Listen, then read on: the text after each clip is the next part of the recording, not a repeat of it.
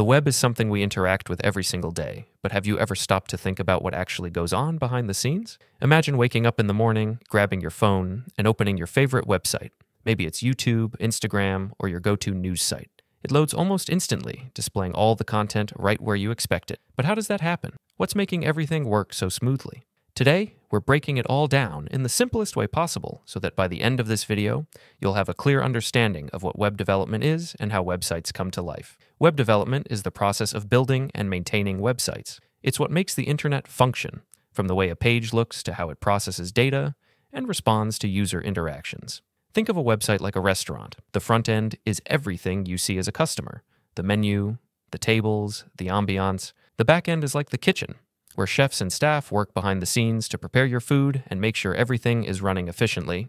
And then we have full stack development, which is like being the owner of the restaurant who manages both the customer experience and the kitchen operations. Front end development is all about what users see and interact with. It involves three key technologies HTML, which structures the content of a web page, CSS, which styles it with colors, fonts, and layouts, and JavaScript, which makes it interactive. For example, when you hover over a button and it changes color, that's JavaScript in action. The front end is crucial because it affects the user experience.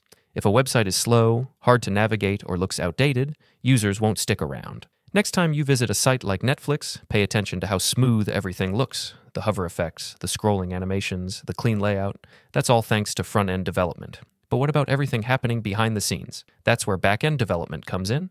The backend is responsible for processing requests, storing and managing data, and making sure everything works properly. When you log into Facebook, for example, the backend checks your username and password against a database, retrieves your profile information, and loads your feed. It's the invisible engine that keeps everything running.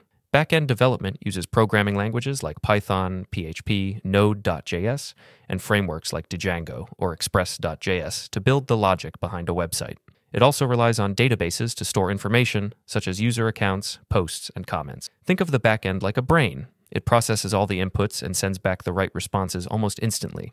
Now, if someone knows how to build both the front end and the back end, they're called a full stack developer. These developers can create entire websites or applications from start to finish.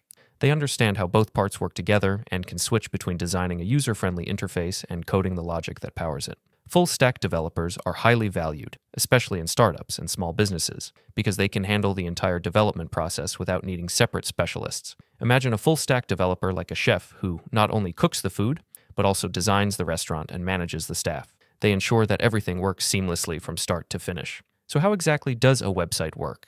Let's say you type google.com into your browser and press enter. Your browser sends a request to Google's server, which processes the request, fetches the necessary data, and sends it back to your device. Thus, your browser then takes this data and displays it as the Google homepage. This process happens in milliseconds, and it's the result of a combination of front end and back end development working together. Think of it like ordering food online. You browse the menu, place an order, and wait for the restaurant to prepare and deliver your food. Websites function in the same way. You request information, the server processes it, and the result is displayed on your screen. Now that you know what web development is, which part excites you the most? Are you more into designing beautiful and interactive websites, or do you love the idea of working behind the scenes, managing data, and making everything function smoothly? Drop a comment below and let me know. And if this video helped you understand web development a little better, don't forget to like and subscribe for more tech breakdowns. See you in the next one.